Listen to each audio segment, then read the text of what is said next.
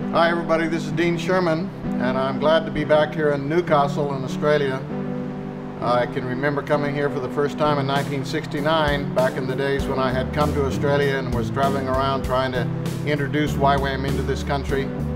So gratifying to see all of the wonderful things that are happening now all over the country in the church as a whole, but also in YWAM and see how much God is uh, influencing all over the world through uh, bases like YWAM Newcastle. I'm here speaking to three DTSs about spiritual warfare,